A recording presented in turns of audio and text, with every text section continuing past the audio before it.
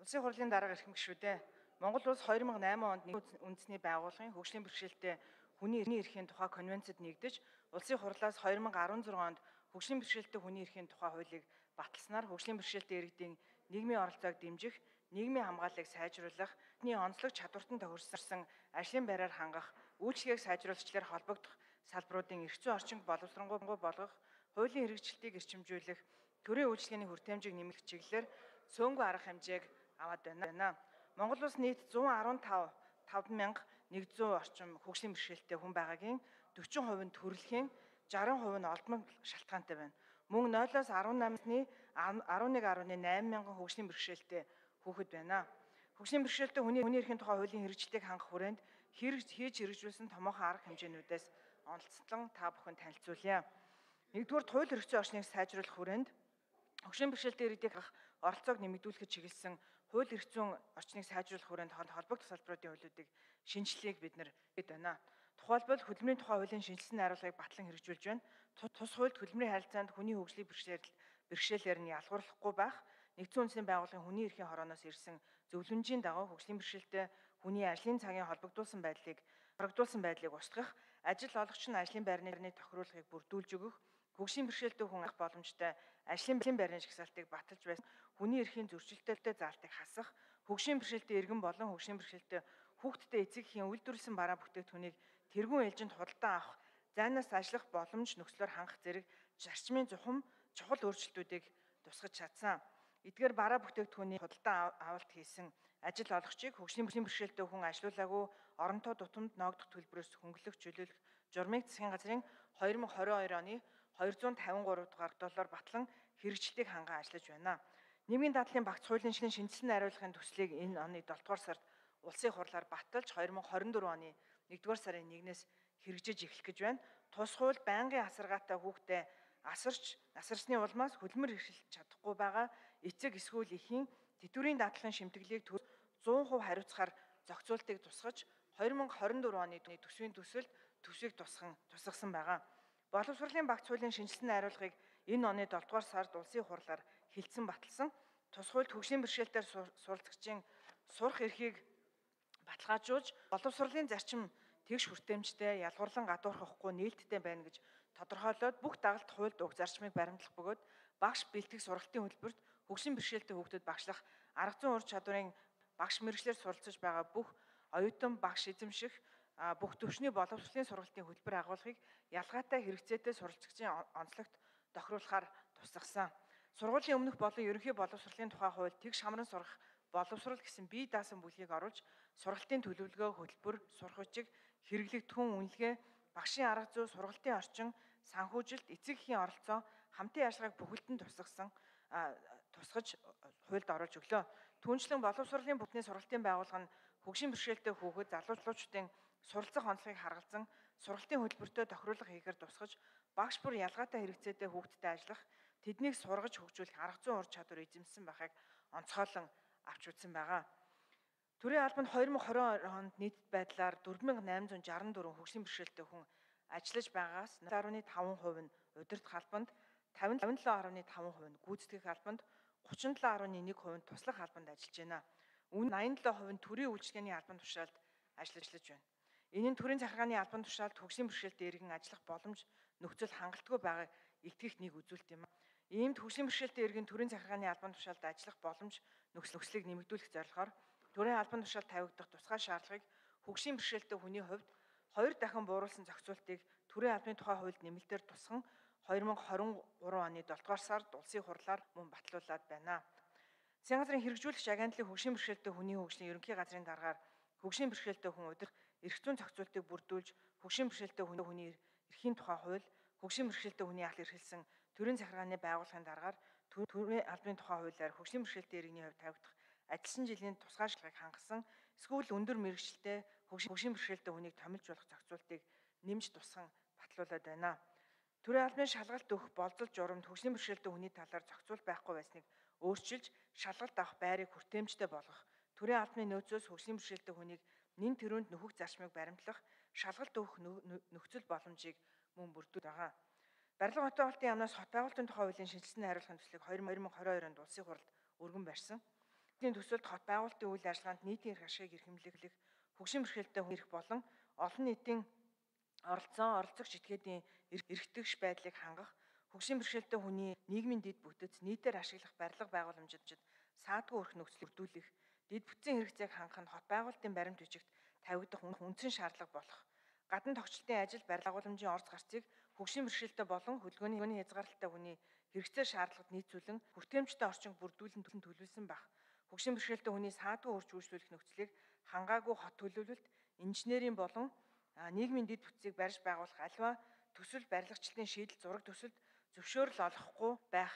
Хөгжим бэрхшээлтэй хүнд хүртээмжтэй орчны талаарх мэдээлэл тусгах зэрэг хөгжим бэрхшээлтэй хүний эрхийг хангах чиглэсэн чухал зохицуултуудыг тусгасан. Ер нь хүрээнд бид 2024 оноос ялангуяа улсын төсвөөс хэрэгжиж байгаа сургууль, цэцэрлэг, эмнэлэг гэрчлэн иргэдийн нэн шаардлагатай дэд бүтцийн жишг зургуудыг хөгжлийн бэрхшээлтэй иргэнд нийцүүлэн шинжлэх ажлыг хийх гэж байна орон нутаг орон сууцны ашиглалтын тухай хуулийн төслийг эцэслэн боловсруулж Монголын засгийн газраас улсын хурлд өргөн барихаар бэлтгэл ажлыг бас хангаж байгаа. Хуулийн төсөлд орон сууцны барилгад хөгжлийн бэрхшээлтэй иргэд зорчих, хөдөлгөөний аюулгүй байдлыг бүрэн хангасан, хүртээмжийг сайжруулсан орчныг бүрдүүлэх зохицуултуудыг тусгасан. Хөгжлийн бэрхшээлтэй иргэдийн маань хувьд хамгийн чухал асуудал нь нийгэм өөрөө хөгжлийн бэрхшээлтэй, дэд бүтэц хөгжлийн бэрхшээлтэй, барилга байгууламж нийтийн тээвэр хөгжлөмөлтэй байх нь нэн чухам тулгамдаад байгаа асуудлууд юм а. Боловсрол шинжилгээ ухаанаас ухааны яамаас Монгол дохионы хэлний тухай анхдагч хуулийн төсөл боловсруулах ажлын хэсгийн бүрэлдэхүүн болон үйл ажиллагааны төлөвлөгөө шаардлагатай төсвийг боловсрол шинжилгээ ухааны сайдын төслөөр баталсан бөгөөд хуулийн төсвийн үзэл баримтлалыг боловсруулж байна. Автозамын тухай хуульд төгслийн бэрхшээлтэй хүнд зориулсан тээврийн хэрэгслийг автозам замын байгууламж ашигласны төлбөрөөс чөлөөлнө гэж тусган баталсан. Үүнийг нийслэл Улаанбаатар хотын төгжрлийг бууруулах хуулийг хилцэж байгаа цаг үед бас бид тусган ажиллах ёстой. За энэхүү аялал жуулчлалын тухай хуулийн шинжилсэн найруулгыг 2023 оны 5 дугаар сард улсын хурлаар баталсан. За холбогдох журмуудад мөн журмын төслүүдэд хөгжлийн бэрхшээлтэй иргэдэд үйлчлэгээ үзүүлэх асуудлыг тусгахаар бид ажлын хэсэгт орон бас ажиллаж байна. За бүтэц тогтолцоог бэхжүүлэх хүрээнд хийж хэрэгжүүлсэн ажлынхаа тухай тавч танилцуулъя. Монгол Улсын засгийн газраас хөгжлийн бэрхшээлтэй иргэдийн эрхийг хангах оролцоог нэмэгдүүлэхэд чиглэсэн бүтэц тогтолцоог бэхжүүлэхэд анхаарч ажиллаж байна. Тухайлбал хөдөлмөр нийгмийн хамгааллын яамны бүтцэд хөгжлийн бэрхшээлтэй иргэдийн хөгжлийн хилтэс чиг үүргийнхаа хүрээнд хөгжлийн бэрхшээлтэй иргэдийн эрхийг хангах асуудлыг төр бодлого шийдвэр тусган ажиллаж байна. Засгийн газрын 2016 оны 136 дугаар тогтоолоор хөгжлийн бэрхшээлтэй хүний эрхийг хангах салбар дундын үйл ажиллагааг улсын хэмжээнд уялдуулан зохицуулах хэрэгжтийг нэгдсэн өдөр хангах чиг үүрэг бүхэн үндэсний зөвлөлийг байгуулан ашлуулж байна. Үндэсний зөвлөл нь хөгжлийн бэрхшээлтэй хүний эрхийн тухай хуулийн хэрэгжилтэд хяналт тавьж бүх яамдын төрийн наримчгийн дараагаар ахлуулсан дэд зөвлөл аймаг нийслэл дүүрэгт засаг дараагаар ахлуулсан салбар зөвлөлүүдийн үйл ажиллагааны тайлан хилцэн зөвлөмж чиглэл өгч ажиллаж байна. Эдгээр зөвлөлүүд нь оны ихэнд тухайн жилд хийж хэрэгжүүлэх үйл ажиллагааны төлөвлөгөөг боловсруулж жилийн эц тайлхнадаг тогтолцоо бий бий болж болсон бас ийм амжилт байна. Тус зөвлөлүүд нь холбогдох төрийн байгууллагуудаас гадна хөгжлийн бэрхшээлтэй иргэдийн ашигыг хамгаалах чиглэлээр үндэсний хэмжээнд үйл ажиллагаа явуулж байгаа төрөмс байгууллагын төлөөллийг оруулж бодлого төлөвлөлт хэрэгжилтэд тэдний оролцоог ханган ажиллаж байна. Засгийн газрын 2022 оны 350 дугаар тогтоолоор хөгжлийн бэрхшээлтэй хүний эрхийг хангах зөвлөлийн бүрэлдэхүүнийг шинжилэн баталж зөвлөлийг улсын сайд засгийн газрын хэрэглэхийн дарга халж байна. Зөвлөлийн ээлж турлаар байнгын асаргаа шаардлагатай хөгжлийн бэрхшээлтэй хүүхэд, иргэн, ахмад настан асарч байгаа иргэнд олох тэтгэмж хөгжлийн бэрхшээлтэй иргэний халамжийн тэтгэврийн хэмжээг тус тус нэмэгдүүлэх асуудлыг хэлсэн засгийн газрын хуралдаанд танилцуулж шийдвэрлүүлсэн болно. Мөн 0-оос 16 насны хүүхдийн хөгжлийн бэрхшээлтэй эсхийг тогтоох, хөгжлийн бэрхшээлтэй хүүхдийг эрүүл мэнд боловсрол, нийгмийн хамгааллын үйлчилгээнд хамруулах үйл ажиллагааг уялдуулан зохицуулах хэрэгжилтэд хяналт тавих чиг үүрэггүй хөгжлийн бэрхшээлтэй хүүхдийн эрүүл мэнд боловсрол нийгмийн хамгааллын комиссийн 21-9 дүрэгт байгуулан ажиллаж байна. Хууль болон конвенцийг хэрэгжүүлэхээс салбар дундын уялдааг хангах, мэрэгжил арга зүйнлэг үзүүлэх чиглэл бүхий засгийн газрын хэрэгжүүлэгч агентлаг хөгжлийн бэрхшээлтэй хүний ерөнхий газрыг 2018 онд улсын хурал засгийн газрын шийдвэрээр байгуулсан. Хүн бэрхшээлтэй хүүхдэд эрүүл мэнд нийгмийн сэргээнцэлтийн цогц цогц үйлчилгээ үзүүлэх хөгжлийн бэрхшээлтэй хүүхдийн сэрэг хөгжлийн төвийг засгийн газрын 2019 оны 125 дугаар тогтоолоор байгуулсан. Тус дүүн хүүхдийн хөгжлийн хоцрогдол, бэрхшээлийн эрт илрүүлэх, онцлох, сэргээн засах, хоёр дахь хөгжлийн бэрхшээлээс урьдчилан гэлэх, олон нийтийн оролцоонд түшиглэн хөгжүүлэх, хөгжлийн бэрхшээлтэй хүүхдийг нийгмийн харилцаанд бүрэн дүүрэн үр дүнтэй оролцоход дэмжлэг үзүүлэх, хөгжлийн бэрхшээлтэй хүүхдцэгчүүд зориулсан сургалт, нөлөөлөл хөгжлийн арга хэмжээг зохион байгуулахаас гадна өдөрт 250 хүүхдийг хэвтэн эмшүүлэх өдөр эргэн засаг үйлчлэгэнд хамруулах боломжтой 8 давхар эмнэлгийг барьж байгуулад ашиглалтанд оруулаад байна. Түншлэн хөдөө орон нутаг аслагдсан дүргээс ирсэн хөгжлийн бэрхшээлтэй хүүхдүүдийг 14-өөс 21 хоног хэвтүүлэн нарийн мэрэгжлийн болон орчин үеийн шинжилгээ, онцлогоо, хөдөлгөөн засал, хөдөлмөр засал, хил засал, усан ба физик гэмшлэгээ зэрэг сэргээн засах тусламж үйлчилгээ үзүүлж тохирох туслах хэрэгсэл протез ортопедийн үйлдвэрлэл засвар үйлчлэгийг мөнгөлж байгаа. Азийн хөгжлийн банкны зээлийн санхүүжилтээр хэрэгжүүлж байгаа хөгжлийн бэрхшээлтэй иргэдийн оролцоог анх үйлчлэгийг сайжруулах төслийн хүрээнд Дархан уулд, Орнод, Дундгав, Ховд, Хөвсгөл аймагуудад хөгжлийн бэрхшээлтэй хүний хөгжлийн төвийг 9 дугаар сард нээж үйл ажиллагааг нь бүрэн эхлүүлээд байна. Эдгээр төвүүд нь хөгжлийн бэрхшээлтэй хүүхэд насанд хүрэгчдэд эрүүл мэнд нийгмийн сэргээн тусламж үйлчлэгийг тухайн орон нутагт нь үзүүлж гэр бүл асран хамгаалагчдад чиглэсэн олон үйлчлэгийг хүргэж салбар дундын оюутай холбоог хангаж ажиллах юм а.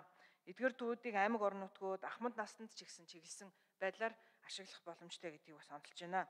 Хөгжлийн бэрхшээлтэй хүүхдүүд хөгж хогц дэмжлэг үзүүлэх чиглэлээр боловсрол шинжилх ухааны яам, хөдөлмөр нийгмийн хамгааллын яам, эрүүл мэндийн яам, хөгжлийн бэрхшээлтэй хүүхэд тэдний эзэх болон төрийн байгууллагуудын төлөөлөлтөд хамтарсан салбар дундын уулзалтыг яамдууд ээлжлэн зохион байгуулж хэвшсэн байж байгаа. Энэ хүрээнд яригдсан асуудлуудыг шийдвэрлэхээр боловсрол шинжилх ухааны сайд, хөдөлмөр нийгмийн хамгааллын сайд, эрүүл мэндийн сайдын хамтарсан туршаалаар хөгжлийн бэрхшээлтэй хүүхдэд хөгжлийн цогц дэмжлэг үзүүлэх үйл ажиллагааны төлөвлөгөөг батлан хэрэгжүүлэхээр боловсруулад байна. Хамгийн сүүлийн энэ уулзалтыг хөдөлмөр нийгмийн хамгааллын яам одоо зохион байгуулад байгаа. Дараагийн уулзалтыг эрүүл мэндийн яам зохион байгуулахаар гурван нар ээлжлэн яам яам яамн дээр зохион байгуулдаг хөтөлбөрсөл тогтоод байгаа. Засгийн газраас 2016-аас 2020 онд ЖАКА байгууллагатай хамтран хэрэгжүүлсэн Улаанбаатар хөгжлийн бэрхшээлтэй иргэдийн нийгмийн оролцоог нэмэгдүүлэх төслийн хүрээнд хөгжлийн бэрхшээл ба тэгш байдал сургалтыг үндэсний хэмжээнд зохион байгуул хөгжлийн бэрхшээлтэй сурагч багш нарыг бэлтгэн хандлага ойлголт нэмэгдүүлэх сургалтын тогтолцоог бий болголоо. Энэ хүрээнд 2023 оны байдлаар 500 гаруй удаагийн сургалтаар 40 мянга гаруй төрийн боловын хөгжлийн ажилтан, албан хаагч, ерөнхий боловсролын болон ихтэй сургуулийн оюутан сурагчдыг хамруулж сургалтад хамрагдсан байгууллагууд гадна болон дотоод орчноо хүртээмжтэй болгоход анхаарч ажиллаж байна. Сургалтыг зөвхөн хөгжлийн бэрхшээлтэй хүн өөрөө заадаг учраас үүгээр дамжуулан хөгжлийн бэрхшээлтэй залуусыг чадварчуулан тэдний нийгэм оролцоог бас бид нэмэгдүүлж байгаа юм а. Хөгжлийн бэрхшээлтэй хүний сурч боловсрох эрх хангах талаар 2022-оос 22-оос 23 оны хичээлийн жилд нийгмийн бэрхшээлтэй хүүхэд нийт хүүхдийн 64 одоо хүүхдийн хөгжлийн бэрхшээлтэй хүүхдийн 64%-ийг буюу 8228 суралцагчийг бүх шатны боловсролын үгэнд хамруулж байна. Боловсролын түвшнээр авч үзвэл сургуулийн өмнөх боловсролд 1498, ерөнхий боловсролд 5673, мэрэгжлийн боловсрол 643, дээд боловсролд 414 суралцагч суралцж байна. Боловсролын багцуулын шинжилгээ хүрээнд ялгаатай хэрэгцээтэй суралцагчдын боловсрол эзэмших асуудлаар сургуулийн өмнөх болон ерөнхий боловсролын тухай хуульд тэгш хамруулан сургах боловсрол бүлгийг тусгаалan оруулж өгсөн байж байгаа. Гэсэн сургалтын сургалтын байгууллагын суралцагчийн ялгаатай хэрэгцээ ур чадварын түвшинд харгалзан сургалтын хөтөлбөрт тохируулга хийх гэсэн зохицуултыг тусган батлуулсан. Дээд боловсролын тухай хууль тусгай хэрэгцээ шаардлагатай суралцагчийг дэмжих хөтөлбөр баталж шаардлагатай нөхөр бүрдүүлэх талаар бас тусгасан байгаа. Тэгш тэгш хамран сурах боловсролын бодлогын хураангуйг боловсруулж тэгш хамран сургах боловсролын 9 үндсэн шин чанарын хүрээнд хийсэн шинжилгээний үр дүнд бодлогын 20 зөвлөмжийг бас гаргасан. Тэгш хамран сурах бодлогын талаар баримлах чиглэлийг боловсрол шинж ухааны сайтын тушаалаар батлан 13 чиглэлийн 44 ажлыг 2022-оос 24 онд хэрэгжилтийг ханган ажиллахаар төлөвлөж ажиллаж байна. Боловсрол шинжилх ухааны яамнаас тэгш хамран сурах боловсролын чиглэлээр JICA олон улсын байгууллагын тусгай хэрэгцээт боловсрол шаардлагатай хүүхдүүд үзүүлэх эрүүл мэнд боловсрол нийгмийн хамгааллын үйлчлэгийг сайжруулах Азийн хөгжлийн банкны буцалтгүй тусламжаар хэрэгжиж байгаа тэгш хамруулах боловсролыг дэмжих дэлхийн боловсролын түншлэл олон улсын байгууллагын санхүүжилтээр тэгш багш боломжийг бүрдүүлэх замаар суралцахыг дэмжих төслүүдийг бид мөн хэрэгжүүлж байна. Эдгээр төслүүдийн хүрээнд нийт 3 тэрбум орчим төгрөгийн санхүүжилтээр 26 сургалтын байгууллагын хүртээмжтэй орчинг сайжруулж хүүхэд хөгжлийн танхимыг шинээр тогтчуулад байна. Хөгжлийн бэрхшээлтэй хүүхэд суралцдаг хоёр цэцэрлэг 6 сургуульд улсын төсвөр 800 сая төгрөгийн санхүүжилтээр тохирох хэрэглэгдэхүүнийг нэмэгдүүлэх хүртээмжтэй орчинг бас одоо сайжруулах ажлыг хийлээ. 21 аймаг 9 дүүргийн боловсрол хамрагталтын дэмжих зөвлөл боловсрол шинжилх ухааны газрын холбогдох мэрэгчлэлтэн 2900 багш ажилтан эцэгхэд чиглэсэн сургалт нөлөөллийн айныг бид бас хийгээд байна. Мэргэжлийн боловсрол сургалтын байгууллагын салбарт Монголын хараагчдын үндсэн төвөнд иргэдэх мэрэгжлийн сургалт үйлдвэрлэлийн төвд хөгжлийн бэрхшээлтэй хүүхдийг тэгш хамруулсан сургах зорилгоор 250 сая төгрөгийн санхүүгийн дэмжлэгийг саяхан боловсрол шинжилгээ ухааны яамнаас шийдсэн. За мөн дээд боловсрол засгийн газрын тогтоолоор дээд боловсролын сургалтын байгууллагын суралцагчид төрөөс санхүүгийн дэмжлэг үзүүлэх журмын дагуу суралцагчдад төрөөс үзүүлэх санхүүгийн дэмжлэгийг 2023 оны эхний хагасжилд дараах байдлаар олгосон. Үүнд хөгжлийн бэрхшээлтэй бакалавр, магистр, докторийн одоо хөтөлбөрт сурч байгаа 473 суралцагчид 843.9 сая төгрөг. Бакалаврын хөтөлбөр суралцаж байгаа эцэг их нь хуулийн хөгжлийн бэрхшээлтэй 282 суралцагчид 544.4 сая төгрөг. Бакалаврын хөтөлбөр суралцаж байгаа хөдөлмөрийн чадвараа бүрэн алдсан гишүүнтэй өрхийн 1382 суралцагчид 2.6 тэрбум төгрөг. Төрийн өмчийн ихтэй сургуульд хөрөн засалж, хөдөлмөр засалж мэрэгчлэр суралцаж байгаа 73 суралцагчид 99.9 сая төгрөгийн санхүүгийн дэмжлэгийг тус тус олгоод байна. Ихтэй сургуульд элсэх шалгалтын. Хөгжлийн бэрхшээлтэй шалгуулагч элсэлтийн ерөнхий шалгалт өгөхөд зориулсан тусгай өрөө бэлтгэх, шалгалтын цагийг уртсгах, шалгалтын даалгаврыг брайлаар том форматаар хэвлэх, дохионы хэлмэрч туслах багш ажиллах зэрэг дэмжлэг үзүүлдэг. Сүүлийн үед хөгжлийн бэрхшээлтэй иргэдийн элсэлтийн ерөнхий шалгалт өгөх тоо нэмэгдэж байна. Тухайлбал 2020 онд 13 шалгалагч бүртгүүлж бүртгүүлж байсан бол 2021 онд 22 шалгуулагч бүртгүүлж бүртгүүлж 2022 онд 31 шалгуулагч бүртгүүлж 31 хүн 2023 онд 33 шалгуулт шалгуулагч бүртгүүлж 29 буюу 2020-с 23 онд эсдийн ерөнхий шалгалтанд нийтдээ 99 хөгжлийн бэрхшээлтэй хүн бүртгүүлж 92 нь шалгалтаа өгсөн байна. Хөдөлмөрийн тухай хуулийн 144 дугаар заалтын хэрэгжилтийг хангах зорилгоор боловсролын салбарт ажиллаж буй хөгжлийн бэрхшээлтэй иргэдийн судалгаа шинжилэн гаргалаа судалгаагаар сургуулийн өмнөх болон ерөнхий боловсролын сургууль, ихтэйд сургууль, коллеж, ухааны байгууллагад 2261 хөгжлийн бэрхшээлтэй иргэн. Ажиллаж байгаа нь цэцэрлэг ерөнхий боловсролын сургууль, дээд боловсролын боловсролын байгууллагын нийт 102829 ажлагчдын 2.1%-ийг бүрдүүлж байгаамаа. Хөгжлийн бэрхшээлтэй хүнд үзүүлэх хэрэгмийн тусламж үйлчилгээний талаар. Эрүүл мэндийн тухай хуульд нэмэлт өөрчлөлт оруулах тухай хувь эмнэлгийн хугацааны тусламж үйлчлэгийг шинээр тусгасан. Урт хугацааны тусламж үйлчлэгээний эрх зүйн орчин боловсронгуй болсноор хөгжлийн бэрхшээлтэй иргэдийн тус үйлчлэгээний тасралтгүй байдал бүрэн хангагдах боломж бүрдсэн. Эрүүл мэндийн сайдын туршаалаар баталсан жирэмсэн төрөх төрсний дараах үед үзүүлэх тусламж үйлчлэгээний журамд үйлчлэх хүрээний хөгжүүлэлттэй жирэмсэн эмэгтэйчүүд хөдөлмөрийн чадвар төр алдaltaй нөхөн үржихуйн насны эмэгтэйчүүдийн сулгааг гаргаж гэр бүл төлөвлөлтийн тусламж үйлчлэгийг үзүүлнэ гэсэн заалтуудыг онцлон тусгаж өгсөн. Эрүүл мэндийн салбарт эрүүл мэндийн байгууллагын үйлчлэгээний соёлтой холбоотой стандартыг хэрэгжүүлэхээр эрүүл мэндийн үйлчлэгэнд тавих шаардлага стандартыг анх удаа батлуулсан. Уг стандартад хөгжлийн бэрхшээлтэй үйлчлүүлэгчтэй хэрхэн харилцах, эрүүл мэндийн байгууллагын гадна болон дотоод орчинд тавигдах шаардлагад хөгжлийн бэлтээ, хүнд ээлтэй орчин бүрдүүлэх, нэвтэн өмчлөх тасагт хөгжлийн бэрхшээлтэй хүнд хүртээмжтэй өрөөг нэгээс доошгүй зориултын тоног, зориултын тоноглол бүхий ариун цэврийн өрөөг төлөвлөх зэрэг 20 орчим тусгаалсан заалтыг тусгасан. Харамсалтай нь ялангуяа дээхэн үед баригдсан манай дүүрэг за өрхийн эрүүл мэндийн барилга байгууламжууд маань хөгжлийн бэрхшээлтэй иргэд орж үйлчлүүлэхэд их хэцүү. А ихэнхдээ үд хаалгаар нь орлоо гэхэд цаашаа лифт дээшээ бусад тасгуудаар үйлчлүүлэхэд ийм чиглэлийн одоо стандартыг бас хангаагүй баригдсан байдаг. Няран шаралтын үеийн онцлогоо эмчилгээний эмнэлэг зүйн зааврын боловсруулж эрүүл мэндийн сайдын тушаалаар батлан хэрэгжтийг хангаа ажиллаж байна. Энэ хүрээнд няран дутуу төрөлтөг бууруулах, дутуу няраад үзүүлэх эмнэлгийн тусламжийг сайжруулах, няран ам насыг аврах, амьсгалын дистресс, хам шинжин шинжилгээнд хэрэглэх форфактат эмчилгээг шинээр нэвтрүүлсэн. Бүгд найрамд Турк улс, Ингли улс, Япон улсын мэдрэлийн мэсцлийн чиглэлээр ажилладаг эмнэлгийн эмч нарын багуудтай хамтран 11 тархины саатай хүүхдэд рисотомис засал хийж сэргэн засах хөдөлгөөнцөх эмчилгээнүүдийн үр дүнг бас хянаж байна.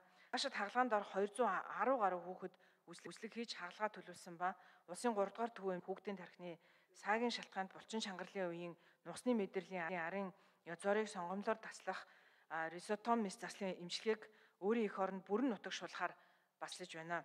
Хөгжлийн бэрхшээлтэй 1200 гаруй хүүхдэд мэдрэл дотор чих хамар хоолой, нүд шүд, сэтгцэн эмч, хил засал, сэргэн засалч эмч эмч, удам зөөч, мэдрэлийн мэцлийн төрөлсөн мэрэгжлийн эмч нарын хамтарсан үйлчлэгийг зохион байгуулж хөгжлийн бэрхшээлтэй хүүхдэд эрүүл мэндийн тусламж үйлчлэгийг ойртуулах, өвтгөөс өмнө урьдчилан сэргийлэх үйл ажиллагаанууд хэрэгжүүлэн бид бас ажиллаж байна. Дэлхийн эрүүл мэндийн байгууллагын санхүүжилтээр тусгай харилцаа шаардлагатай эмэгтэйчүүдэд эрүүл мэндийн тусламж үйлчлэгээ үзүүлэх, тэднийг эсэн мэнд амаржуулахад зориулсан өндөр намыг нь тохируулж болдог төрхийн орыг нийслэлийн амарч газруудад төрөлцсөн мэрэгжлийн эмнэлэг бол 21 аймгийн амарч газруудад хүлээлгөө өгöd байна. Хүүхдийн хөгжлийн хоцрогдол бэрхшээлийн эрсдлийг илрүүлэх Монгол хүүхдийн хөгжлийг үнэлэх төрөвчлсөн үнэлгээг үнэлгээний асуумжийг их хүүхдийн эрүүл мэндийн дэвтэр тусган шинчилж эрүүл мэндийн сайдын тушаалаар баталсан бөгөөд энэ эрүүл мэндийн байгууллагад төдийгүй эцэг их асран хамгаалагч нар гэр бүлийн түвшинд хөгжлийн хоцрогдол, бэрхшээлийн эрсдэлтэй хүүхдийг эрт илрүүлэх, онцлох, улмаар тэдэнд үзүүлэх эрүүл мэндийн тусламж үйлчилгээг цаг алдалгүй үзүүлэхэд чухал ач холбогдолтой юм а. Хөгжлийн бэрхшээлтэй хүүхдүүдийн эцэг эхчүүд төрөмс байгууллагатай хийсэн уулзалтан дээр ялангуяа эрт илрүүлэхийг аль болохоор эрт хийх тусам хүүхдүүдэд үзүүлэх тусламж үйлчилгээ одоо сайжрах юм олон улсын туршлагыг бид нэвтрүүлэх хэрэгтэй байна гэдгийг онцлон хэлж байсан. Шин төрсөн яраа бүрийг дөрвөн төрлийн скрининг шинжилгээнд хамруулах ажлыг бид хэрэгж байна. Яраан скрининг шинжилгээ нь эмзүүн шүн шинж илрээгүй байхад оншилж эрт эмчилгээнд хамруулснаар оюуны хомсдол, өсөлтийн хоцрогдол, хөгжлийн бэрхшээл, эндэгдлээс сэргийлэх боломжтой. Мөн төрөлхийн хөгжлийн гажиг эрт илрүүлэх болохоор улсын хэмжээнд ургийн төрөлхийн зүрхний гажиг, хоромсоомын шинжилгээ хийж байна. Ингэснээр ургийн хөгжлийн ямар нэгэн гажигын эрсдлийг улмаас хөгжлийн бэрхшээлтэй хөвгөт төрөх магадлалыг бууруулах бас боломжтой юм аа. Эрүүл мэндийн даатгалын үндсэн зарчмын дагуу эмзэг бүлгийн иргэдийг санхүүгийн эрсдлээс хамгаалах зорилгоор эрүүл мэндийн даатгалын шимтгэлийг нь төрөөс хариуцдаг хариуцдаг даатгуулагчийн эрүүл мэндийн тусламж үйлчилгээний зарлалын төлбөрийг даатгалын сангаас 100% хариуцаж эрүүл мэндийн тусламж үйлчилгээнд иргэний хариуцсан төлөх хамтын төлбөрөөс бүрэн чөлөөлсөн. 2021 онд 39 тэрбум, 2022 онд 47 тэрбум төгрөгийг тус тус хамтын төлбөрөөс чөлөөлж эмзэг бүлгийн иргэдийг санхүүгийн эрсдлээс хамгаалсан. Тархины саажилт, уналт, таталтын эсрэг эмийн хангамжийг тасралтгүй байдлыг хангах хүрээнд 0-аас 18 насны хүүхдэд хэрэглэх уналт таталтын эсрэг 10 нэрийн эмийг 2 жилийн хугацаатаагаар үнчин эмийн бүртгэл бүртгэж 21 эмэнд импортын нэг удаагийн лиценз олгосон.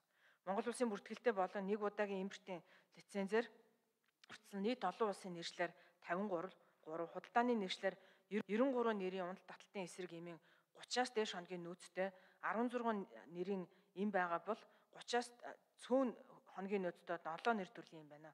Эрүүл мэндийн яамнаас хөгжлийн бэрхшээлтэй хүүхдийн эмчилгээнд хэрэглэгдэх эм эмийн хэрэгслийн чиглэлээр гол баримталж байгаа бодлогын хувьд эм бүртгэлийн үйл ажиллагааг шуурхай зохион байгуулах, эмийн худалдааны үнэт тухай бүрт хяналт хийх, эмийн хэрэгцээт тооцоод хэрэгцээг тооцоолон олон нийтийг үн зөв мэдээлэлээр хангах, нэн шаардлагатай цөөн төөн цоогоор цөөн тоогоор хэрэглэгдэх эм эмнэлгийн хэрэгслийн хангамжийн асуудлыг шийдвэрлэхэд онцгой анхааран ажиллаж байна.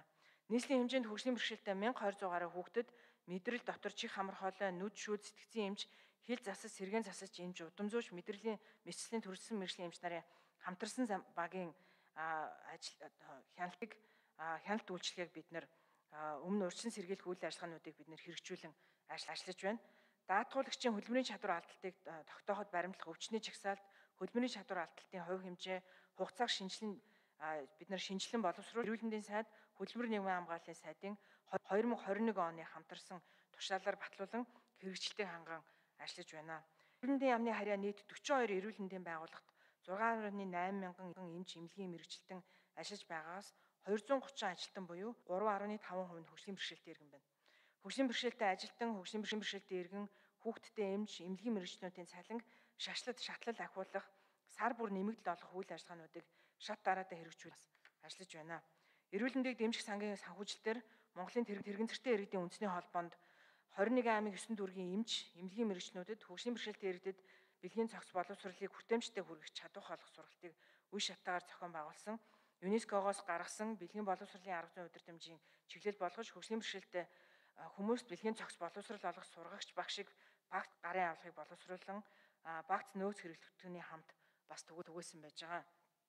Цаашид хүүхдийн тарийн саагийн шалтгаанд булчин чангарлын үеийн нус нусны мэдрэлийн эмчилгээ болон чөмжилжүүлэн суулгах хагалгааг өөрийн орондоо бүрэн нутагдагшуулах эрүүл мэндийн салбарт эрүүл мэндийн байгууллагын үйлчлэгээний соёлтой холбоотой эрүүл мэндийн үйлчлэгэнд тавих шаардлага стандартыг хөгжлийн бэрхшээлтэй иргэн дээлтэй тэднийг дэмжсэн орчныг бүрэн зохицоор хөгжүүлэх хэрэгжүүлэх эрүүл мэндийн байгууллагын дотор гадна орчинг хөгжлийн бэрхшээлтэй иргэн дээр болгох шаардлага хэрэгцээ бидэнд байна.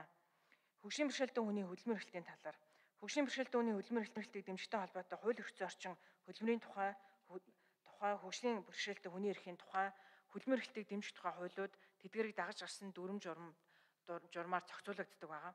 Хөдөлмөрийн тухай хуулийн шинжилсэн хариулгад хөгжлийн бэрхшээлтэй иргэн ажилуулаагүй ажлын байрны төлбөрийн хэмжээг хөдөлмөрийн үйлсийн доод хэмжээтэй уялдуулан тогтоох болон хөгжлийн бэрхшээлтэй иргэдийн хөдөлмөрлөлт хэрэгтэй холбоотой бусад шин зохицуултыг тусган хэрэгжилтийг ханган бас ажиллаж байна.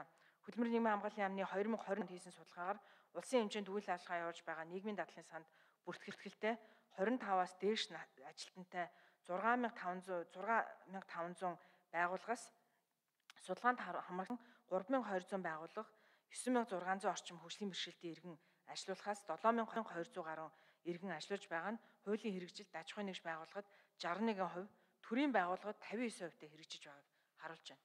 Тэм учраас би төрийн албаны тухайланд өөрчлөлт оруулж хөгжлийн бэрхшээлтэй иргэд төрийн албанд ажиллах боломж олцоог бас нээж өгсөн. Энэ нь хуулийн хэрэгжилтийг эрчимжүүлэх шаардлагатай байгааг бидэнд харуулж байгаа нь. За хөдөлмөрийн хамгааллын яамд хөдөлмөрийн хяналтын чиглэлийг шилжиж ирсэнтэй холбоотойгоор өмчийн хэлбэр харгалзахгүйгээр бүх аж ахуйн нэгж байгууллагуудад хяналт шалгалт хийх боломжтой болсон нь хуулийн хэрэгжилтийг хангахад эрчимжүүлэхэд бас эрэл үзүүлж байгаа. Түүнчлэн хөгжлийн бэрхшээлтэй хүн хүн ажилуулаагүй төлбөрийн орлогыг хөдөлмөрлөлтийг дэмжих самд төвлөрүүлж хөгжлийн бэрхшээлтэй иргэдийн төрийн бас байгууллага одоо бизнес хийх дэмжих хөдөлмөрлөлтийг дэмжих чиглэлээр бид нар зарцуулж байна. Хөдөлгөөн хуулийн 144 дугаар зүйл өмнө хүчин төвлөлдөр байсан хуулийн 111 дугаар зүйлийн хэрэгжилтийг хангах хүрээнд хөгжлийн бэрхшээлтэй хүнийг ажилуулаагүй төлбөрөөс хөдөлмөрлөлтийг дэмжих санд 2016 онд 349.5 сая төвлөрүүлж байсан бол энэ хэмжээ жил бүр өсөж 2021 онд 11.5 тэрбум төгрөг харин 2022 онд төлбөрийн хэмжээг хөдөлмөрийн үсгийн доод хэмжээтэй уялдуулан тогтоосон дагуу 4.7 тэрбум төгрөг энэ оны 3 дугаар улирлын байдлаар 2.8 тэрбум төгрөгийг тус тус төвлөрүүлсэн. Хөгжлийн бэрхшээлтэй хүнийг ажилуулгын төлбөрийн орлогыг дараа оны хөдөлмөрлөлтийг дэмжих сангийн төсөвт хөгжлийн бэрхшээлтэй хүний хөдөлмөрлөлтийг дэмжих зориултаар тусгадаг бөгөөд өмнөх оны орлогоос илүү хэмжээний хөрөнгийг тухайн жил бүр тусган холбогдох үйл ажиллагаанд зарцуулж байна. Хөдөлмөрлөлтийг дэмжих сангийн санхүүжилтээр хөгжлийн бэрхшээлтэй иргэдийн хөдөлмөрлөлтийг дэмжих хөтөлбөр арга хэмжээг хэрэгжүүлж байгаа бөгөөд 2022 онд 9.5 тэрбум төгрөгийг зарцуулсан. 1.2 мянга гаруй ажлын байр 2023 оны 3 дугаар улирлын байдлаар 7000 7.5 тэрбум төгрөг зарцуулж 2.4 мянга гаруй иргэнийг хамруулан 900 орчим ажлын байрыг бий болгоод байна. Япон улсын бослогын тусламжаар JICA байгууллагатай хамтран хөгжлийн бэрхшээлтэй иргэдийн хөдөлмөр эрхлэлтийг дэмжих тогтолцоог бэхжүүлэх төслийг 2021 оноос эхлүүлэн хэрэгжүүлж байна. Энэ төслийн хүрээнд хөгжлийн бэрхшээлтэй иргэдийн хөдөлмөр эрхлэлтийг дэмжих төлөвлөгөөг боловсруулж хүний нөөцийг хөгжүүлэх, хөдөлмөр эрхлэлтийг дэмжин ажилладаг байгууллага хоорондын сүлжээтэй болох, ажлын байрны тохируулахад орчин нөхцөлийг бүрдүүлэх талаар аж ахуйн нэгж байгууллага байгууллага зөвлөгөө өгдөг, ажлын байранд дадлагжигчийн тогтолцоо бас бүрдүүлэхэд чиглэлээ ажиллаж байна. Төслийн хүрээнд 2021 онд хөдөлмөр нийгмийн хамгааллын сайдынчлаар тушаалаар ажлын байрны дадлагжуулагч буюу job coach ажил мэргэжлийг үндэсний ажил мэргэжлийн ангилалд тодорхойлолтод чагсаалтад оруулж ажлын байрны дадлагжуулагчийн үйл ажиллагааны удирдамжийг батал загвар төслийг бид бас хэрэгжүүлж байна. Хөгжлийн бэрхшээлтэй иргэдийн нийгмийн хамгааллын үйлчлэгээний талаар Ахмад настан хөгжлийн бэрхшээлтэй хүн хагас бүтэн өнчин хүүхэд өрх толгойсон их эцэг болон нийгмийн халамжийн дэмжлэг тусалцалцаа зайлшгүй шаардлагатай иргэдээс төрөөс нийт 72 нэр төрлийн нийгмийн халамжийн тэтгэвэр дэмж тусламж хөнгөлтийн үйлчлэгийг хүргэж байна. Байнгын асаргаа шаардлагатай хөгжлийн бэрхшээлтэй хүүхэд иргэн Ахмад насныг асарч байгаа иргэнд олгох тэтгэмжийн хэмжээ 2018 онд 84 мянган төгрөг байсныг 123.1 мянган төгрөг болгож нэмэгдүүлсэн байсан. За үүнийг 2023 оны 7 дугаар сарын 1-ээс 275 мянган төгрөг болгож нэмэгдүүлсэн. Ирэх онд бас бас мөн инфляцтай уялд нэмэгдүүлэхээр улсын төсөвт өргөн бариад байна.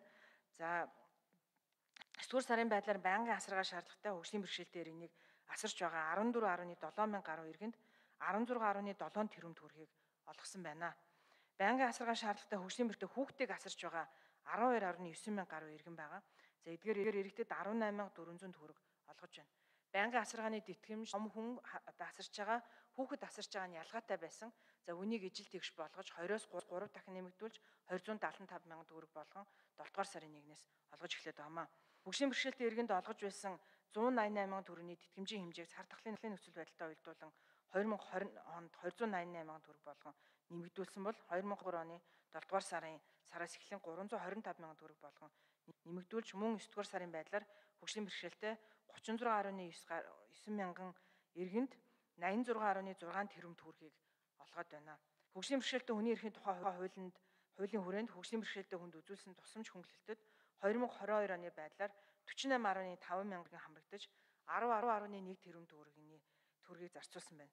Нийгмийн даатгалын багц хуулийн хүрээнд тэтгэврийн даатгалын сангаас 2022 оны жилийн эцсийн байдлаар 62.2 мянган хөдөлмөрийн чадвар алдсны тэтгэвэр авагчид 316.7 тэрбум 2023 оны 9 дугаар сарын байдлаар 63.1 мянган тэтгэвэр авагчид 249 тэрбум тэтгэврийг тус тус олгоод байна. Мөн тэтгэмжийн даатгалын сангаас 2022 оны жилийн эцсийн байдлаар 162.3 мянган хөдөлмөрийн чадвар түр алдсны даатгуулагчид 27.4 тэрбум төгрөг 2023 оны 9 дугаар сарын байдлаар 104 мянган даатгуулагчид 20.6 тэрбум төгрөгийг тэтгэмж тус тус олгослгосон байна. Үйлдвэрлэлийн осол мэрэгшин шатгалах хөвчний даатгалын сангаас 2022 онд 3.6 мянга 3600 хөдөлмөрийн чадвар алдсан алдсны тэтгэвэр авагчид 27.5 тэрбум төгрөг, мөн сангаас 1200 даатгуулагчид 1.3 тэрбум төгрөг төгрөгийн тэтгэмж төлбөр 2000 гаруй даатгуулагчид 1.1 тэрбум төгрөгийн совилын зардлыг тус тус олгосон бол 2023 оны 9 дугаар сарын байдлаар 3500 хөдөлмөрийн чадвар алдсны тэтгэвэр авагчид 22.6 тэрбум төгрөгийг мөн тус сангаас 1100 даатгуулагчид 1.3 тэрбум төгрөгийн тэтгэмж а 1200 даатгуулагчид 0.7 тэрбум төгрөгийн совилын зардлыг бас тус тус гаргаад байна. Дүгнэж хэлбэл манай улсын хөршилтэй иргэн бүр нийгмийн даатгалын болон халамжийн сангаас тэтгэвэр авч байгаа бөгөөд цаашид нийгмийн халамжийн үйлчлэгээний нэр төрлийг оновчтой болгон багцлж хөгжлийн бэрхшээлтэй иргэнд болох мөн дүнг нэмэгдүүлэх нь зүйтэй юм а. Олон улсын байгууллагын зүгээс Монгол улсыг ялангуяа хүртээмжтэй нийгмийг бий болгоход хөгжлийн бэрхшээлтэй иргэдэд хөгжлийн бэрхшээлтэй иргэн хон нийгмийн халамж хамгаалалт хамрагдаж байгаа нь сайшралтай. Харин хүртээмжтэй одоо байгаа ч гэсэндээ энүүний дүнгийн нэмэгдлийг бид нар уялдаа холбоотой зохицуулт илүү сайтай байхтаар анхаарах ёстой гэж бас зөвлөж байгаа. Хөгжлийн бэрхшээлтэй хүнийг нийгмийн одоо харилцаанд саад бэрхшээлгүй оролцоход чиглэсэн дэд бүтэц болон мэдээллийн хүртээмжийг сайжруулах. За барилга хотгуулалтын сайдын тушаалаар барилга байгууламжийн норм нормативын баримт хүчийг барилга байгууламжид хөгжлийн бэрхшээлтэй иргэний хүртээмжийг төлөвлөхийг баталж мөрдөн ажиллаж байна. Мөн барилга хотгуулалтын сайдын тушаалаар барилга байгууламжийн зураг төсөл боловсруулах, магадлал хийх дүрмийг шинжилэн боловсруулахаар ажиллаж байна. Барилга хотгуулалтын сайд хөдөлмөр нийгмийн хамгааллын сайдын хамтарсан тушаалаар хөгжлийн бэрхшээлтэй иргэний төрөөс орон сууцаар хангахад дэмжлэг үзүүлэх хөтөлбөрийг саяхан баталсан. Энэхүү хөтөлбөр хэрэгжснээр түрээсийн орон сууцнд хөгжлийн бэрхшээлтэй хүнтэй өрхийн хамрагд хувь хэмжээг нэмэгдүүлэх, орон нутгийн өмчийн орон сууцнаас тэргүүн ээлжинд орон орон байргуу хөгжлийн бэрхшээлтэй иргэнтэй өрхийг хүслүүлэх, эзэмшүүлэх, төлөв уян хатан хөнгөлтэй нөхцлөөр худалдаа авах боломжийг бүрдүүлэхээр тусгасан байгаа. Энэ дашрам тус хөтөлбөрийг хэрэгжүүлэх шаардлагатай төсвийг бас та бүхнийг дэмжихийг улсын хурал дээр хүсэж байна. Зам тээврийн хөгжлийн яамнаас явган үний зам талбайн төлөвлөлт, төсөвлөлт болон техникийн шаардлагыг хөгжлийн бэрхшээлтэй иргэдийн оролцоотойгоо тусруулж батлуулахдаа зам замын байгууламжинд үнэлгээ хийх, шалгах хуудсыг тусгаж дэд бүтцийн хүртээмжийн үнэлгээ хийх албан ёсны баримт хүчтэй болсон. Хөгжлийн бэрхшээлтэй иргэдийн зүгээс хараагүй хараагүй иргэн зориулсан зам тавилаа гэхэд дунд нь гэрэлтүүлэг тавьчихдаг. Зам юу тавилаа гэхэд өксөх зам тавилаа хаалгыг нь тохиромжтойгоор хийж чаддгүй хэмтчлэн стандарт алдагдсан байдаг талаар маш их ярьдаг одоо шүмжэлтэй ханддаг. 2016-аас 18 онд хөгжил иргэдийн эрхийг хамгаалах чиглэлээр үйл ажиллагаа явуулж буй төрөмс байгууллага, хөдөлмөр нийгмийн хамгааллын яам, JICA байгууллага, холбогд төрийн байгууллагууд хамтран төвөрлөн сонгосон автобусны зогсоол, явган хүний зам, нийтийн тээвэр, төрийн захиргааны үйлчлэг, төрийн захиргааны үйлчлэгээний байгууллагуудын болон хувийн хөгжлийн барилга байгууламж, хөшгтийн хөндийн шинэ онгоцны буудал, түншлэн нийслэлийн хэмжээнд олон нийтийн зорилттой 27 барилга байгууламжид нийслэлд үйл ажиллагаа явуулж байгаа. Хөдөлмөр нийгмийн хамгааллын салбарын 30 гаруй байгууллагын үйлчлэгээний хүртээмжид тус тус үнэлгээ хийсэн. 2022 онд Сүхбаатар Шингэлтэй дүргийн замд замын байгууламж нийт тээврийн үнэлгээний саадгүй байдалд хүртээмж төрийн ордон бүх яам нийслэлийн цэг даргын тамгын газар Төвийн 6 дүүргийн цэг даргын тамгын газар барилга байгууламж болон мэдээллийн технологи харилцаа холбооны үйлчлэгээний саадгүй байдал хүртэмжид 3 чиглэлээр үнэлгээ хийсэн. Саадгүй байдал хүртэмжийн үнэлгээг барилга байгууламж, автозам, замын байгууламж, нийтийн тээвэр болон мэдээллийн технологи харилцаа холбооны чиглэлээр үнэлгээ хийж зөвлөмжийн даваа зарц сайжруулах арга хэмжээ авснаар үнэлгээ хийсэн газар нутагт хөгжлийн бэрхшээлтэй хүний эрхийн хуулийн хэрэгжилтийг хангаж улмаар хөгжлийн бэрхшээлтэй иргэдийн хөдөлмөр хэмжээлтийг дэмжиж нийгмийн харилцаанд саадгүй оролцох боломжлогцыг бид нар нэмэгдүүлэх заашгүй шаардлага байна. Төрийн үйлчлэгийг хүртээмжтэй болгох зорилгоор И Монголиа, энэ датал, И халамж, И жав захим системийг нэвтрүүлж сонсголгүй иргэдэд төрийн үйлчлэгийг саадгүй хүргэх зорилгоор зайнаас туслан зөвлөх төвийг байгуулан ажиллуулж байна. Тухайлбал И Монголиа системээс захимаар лавлага тодорхойлт авах боломжийг бүрдүүлснээр 2023 онд хөдөлмөрийн чадвар алдсны тэтгэвэр тогтоолголт хөдөлмөрийн чадвар алдалтыг тогсон шийдвэрийн лавлагыг 11 мянган хүн захимаар авсан байна. Түүнчлэн засгийн газрын хуралдаа мэдээлэл зарим төрийн байгууллагууд нэвтрүүлгүүдэд дохионы хилтэйгээр тогтмол бэлтгэн хүргэдэг болоод байна.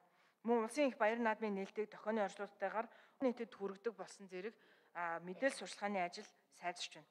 ЖАИКА байгууллагатай хамтран хэрэгжүүлсэн Улаанбаатар хотох хөгжлийн бэрхшээлт иргэдийн нийгмийн оролцоог нэмэгдүүлэх төслийн хүрээнд Монгол улсад анх удаа төр төрийн бас байгууллага хамтран харааны бэрхшээлтэй иргэдийн мэдээллийн үр хэмжээг 9 сонсголгүй иргэдэд иргэдийн мэдээллийн үр хэмжээг 7 шалгуур үзүүлэлтээр үнэлж тодорхой дүгнэлт хэмжээ өгсөн. Дүгнэлтэд үндэслэн олон нийтийн телевизэд дохионы орчуулга болон үсгийн тайлбар оруулах олон улсын стандарт N702-ыг нэвтрүүлэх бэлтгэл ажлыг хангаж вебсайтын болон IP телевизийн үр хэмжээг хангах олон улсын зөвлөмжийг харилцаа холбооны зохицуулах холбооноос баталсан.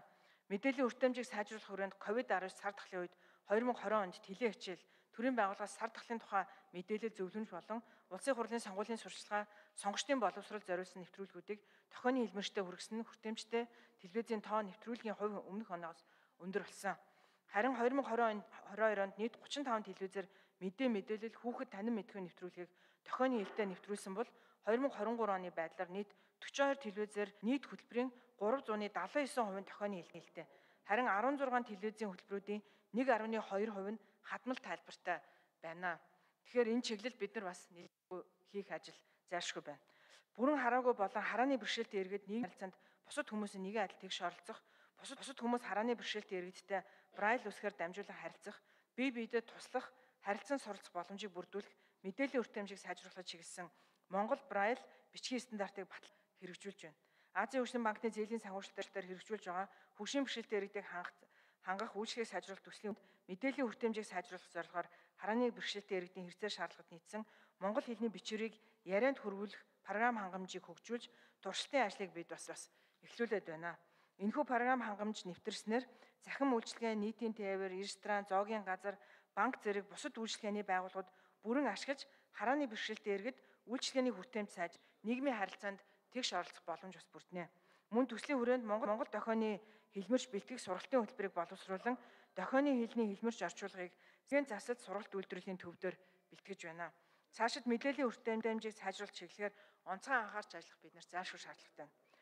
Хөгжим бэрхшээлтэй хүний биед амьдрах эрхийг хангах хүрээнд хөгжим бэрхшээлтэй хүний биедээ амьдрахад дэмжлэг үзүүлэх үйлчлэгээний журмыг хөдөлмөрийн хамгааллын сайдын тушаалаар батлан хэрэгжүүлж байна.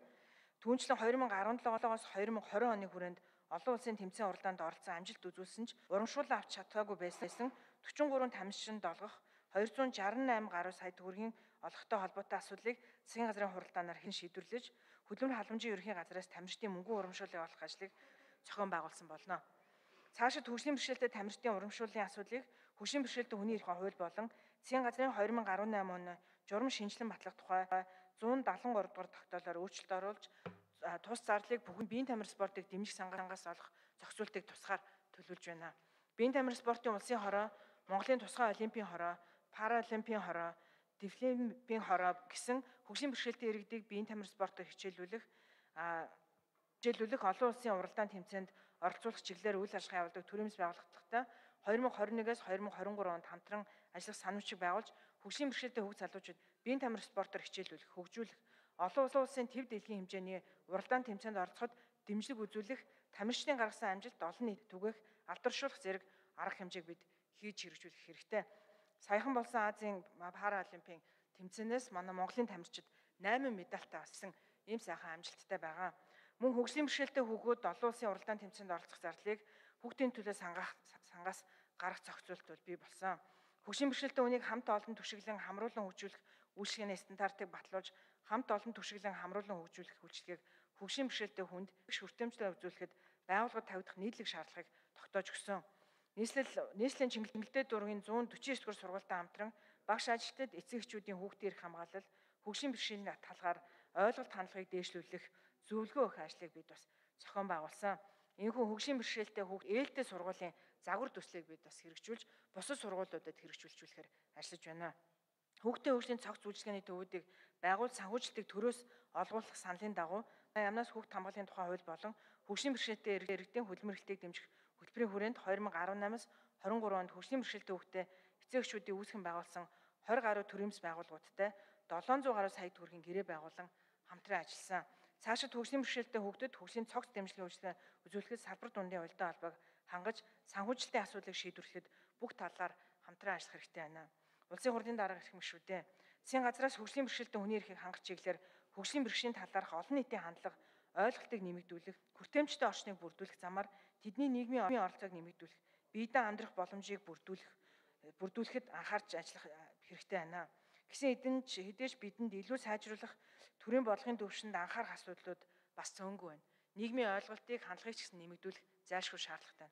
Хөгжлийн бэрхшээлтэй иргэдийн бид өөрчлөгдөх биш, нийгэм өөрчлөгдөж бидний хүлэн зөвшөөрдөг, биднийг дэг дэмждэг, хамтран амьдардаг ийм нэг бий болоход анхаарах хэрэгтэй байна гэдгийг бас хэлдэг.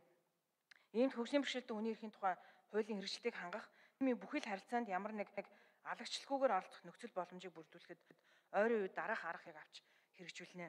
Нэгт хөгжлийн бэрхшээлтэй хүний эрхийн тухай хууль хэрэгжиж эхэлснээр 5 жилийн дараа хэрэгжилтийн үр нөлөөг үнэлэх хуулийн давхардал үнэлэхэд хуулийн давхардал 24.4%, зөрчил 35.5%, хийдэл 13.3% тус тус эзэлж байна. Нийт давхарлын 61% нь нийгмийн халамж, 34% нь боловсрол, 5% нь бусад харилцаатай холбоотой байна. Иймд хөгжлийн бэрхшээлтэй хүний эрхийн тухай тэдний үндсэн эрхийг баталгаажуулж хамгаалах, хариуцах этгээдийн чиг үүргийг наривчлан тодорхойлох зэрэг процедуруудыг бусад салбар хуулиудаар зохицуулах байдлаар тус хуульд шинжилсэн найруулгыг шаарддаг гэсэн дүгнэлт гарсан. Тиймээс тус хуулийн шинжилсэн найруулгын төслийг боловсруулж байгаа бөгөөд нэр томьёог Монгол Улсын нэгдсэн нэгдэн орсон олон улсын гэрээ конвенцэд нийцүүлэх, хөгжлийн бэрхшээлийн талаарх мэдлэг ойлголт нэмэгдүүлэх, сургалтын тогтолцоог тодорхой болгох, биедээ амьдрах эрхийг хэрэгжүүлсэн үүднээс дэмжих үйлчлэгийг илүү тодор болгож, ажлын байрны дадлагжуулагчийг тогтолцоог бүрдүүлэх зэрэг асуудлыг шинээр туссан. Хуулийн төсөл боловсруулах явцад төр болон төрөөмс байгууллагын төлөөлөл 9 удаа хилцүүлэн санал авсан бөгөөд эрх оо ирсэн саналуудыг цэцрийн хуралдаанд хилцүүлэхээр ямдаа санал аваад авахар аван бэлтгэж байна. Хоёр цаадгүй байдал хүртээмжийн тухай анхдагч хуулийн төслийг боловсруулан засгийн газрын хуралдаанд хуралдаанд хилцүүлэхээр бэлтгэж байна.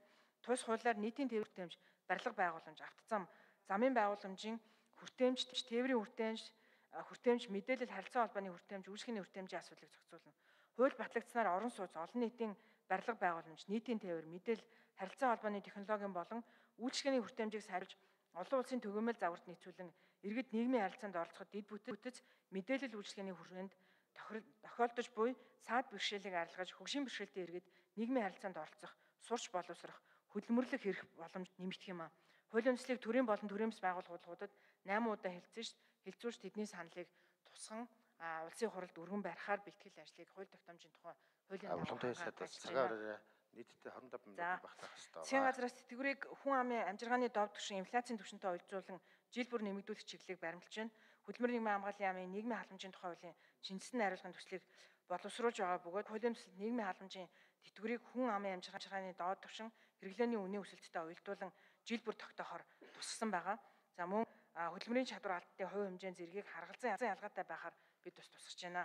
Хөдөлмөр хэлтийг дэмжих үйлчлэгийн хөдөлмөр хөтөлбөр төслийн эрх зүйн зохицуултыг боловсронгуй болох чиглэлээр хөдөлмөр хэлтийг дэмжих тухай хуулийн шинжилсэн найруулгын төсөлд хөгжлийн бэрхшээлтэй хүний хөдөлмөр хэлтийн асуудлыг наривчлан тусгаж засгийн хуралдаанд хилцүүл бэлтгэл ажил хангаж байна. Гэрүүлийн тухай хуулинд мөн зохицуултуудыг орон оруулан өнөөдөр хууль зүйн дотоод иргэн сайд өргөн бариад байна. За 2020-оос 22-оос 23 оны хооронд өргөн хүрээнд хилцүүлэг хийсэн. За ялангуяа хуулиар эрх ашиг нь хөндөгдөх хэсэг өрх толгойсон эцэг их хөгжлийн бэрхшээлтэй хүүхэд гэр бүлийн гишүүний эрх ашигыг нэн төрөнд авч үзэхээр хуулийн зохицуултуудыг тусгаж өгсөн байж байгаа. Хөгжлийн бэрхшээлтэй иргэдийн биедээ амьдрах нөхөн сэргийн үйлчлэгээний тухай хуулийн төслийг хөгжлийн бэрхшээлтэй иргэдийн эрх ашигыг хамгаалах чиглэлээр үйл ажиллагаа явуулдаг төрөмс байгууллагатай хамтран боловсруулж байна. Энэ болон орон нутгийн хөрөнгөөр бараа ажил үйлчлэгээ худалдаа авах тухай хууль холбогдох журмын дагуу сонгон шалгаруулалт орж байгаа аж ахуйн нэгж байгууллагууд тавигдах шаардлага хөгжлийн бэрхшээлтэй хүн нийгмийн харилцаанд саад бэрхшээлгүй оролцож чигсэн стандартуудыг заавал дагаж мөрдсөн байх. Хөдөлмөрийн тухай хуулийн 25 ба түүнээс дээш ажилтнтай байгууллага нийт ажилтны дөрөөс доошгүй хувьд хөгжлийн бэрхшээлтэй ажилтан ажилуулах заалтыг заавал хэрэгжүүлсэн байх тухай зохицуултыг нэмж тусган бид бас тусган батлуулнаа. Ирэх онд нийслэл хөгжлийн бэрхшээлтэй иргэдийн хөдөлмөр эхлэлт хөгжлийн нэгдсэн төв Архангаа, Дорногов, Завхан, Өвөр хангаа, Өмнө говь аймагуд болон Баянзүрх дүүрэгт хөгжлийн бэрхшээлтэй хүний хөгжлийн төвийг цаашид бид барьж байгуулахаар төлөвлөж байна. Нийслэл Улаанбаатар хотын хүрээнд ийм дүр ийм төвийг бүсчлэн хаяж дүүрв цаашилбал дүүрэг болгонд нэг нэгийг барьж байгуулах хэрэгцээ шаардлага байна гэж үзэж байна. Швейцарын холбооны Женев хотноо 2023 он 8 дахь сард болсон. Хөгжлийн бэрхшээлтэй хүний эрхийн хорооны 658 659 дугаар хуралдаанд хөдөлмөрийн хамгааллын дэд сайдаар ахлуулсан. Холбогдох яамдын төлөөллийг хамруулсан ажлын хэсэг засгийн газрын 2 болон 3 дахь тайлан илтгэлийг хилцүүлсэн.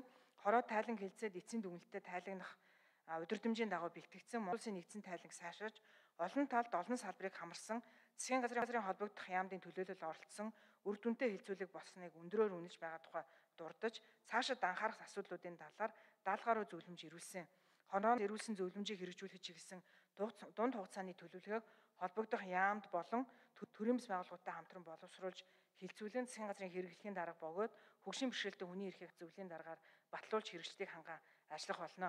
Хөгжлийн бэрхшээлтэй хүний эрхийг хангах чиглэлээр үйл ажиллагаа явуулдаг төрөмс байгууллагуудаас ирүүлсэн шаардлагатай холбоотой холбогдох уулзалтуудыг хийж салбар дундын ажлын хэсгийг байгуулж төлөвлөгөө батлан ажиллаж байна. Архим улсын хурлын гишүүд хурлын дарга хөгжлийн бэрхшээлтэй иргэдийн асуудал бол бас бүх нийтийн асуудал. Хөгжлийн бэрхшээлтэй иргэдийн асуудал хамардгүй салбар гэж байдгүй.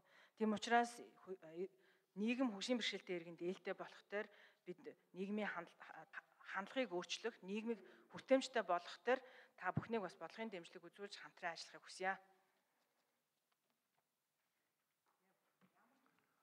За, Булгамтуяа сайдад ажил